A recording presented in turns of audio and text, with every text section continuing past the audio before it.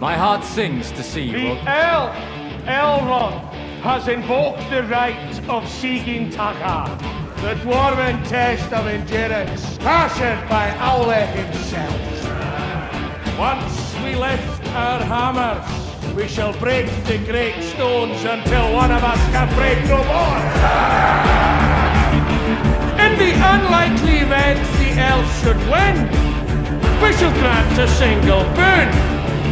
Should the elf forfeit, he will be banished from all dwarven